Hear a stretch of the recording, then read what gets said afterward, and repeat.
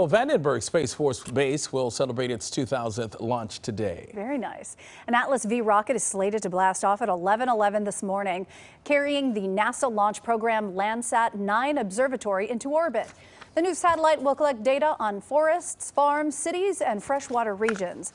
Vandenberg is inviting the public to watch the takeoff from the Hawk's Nest on Highway 1, just a half mile south of the base's main gate.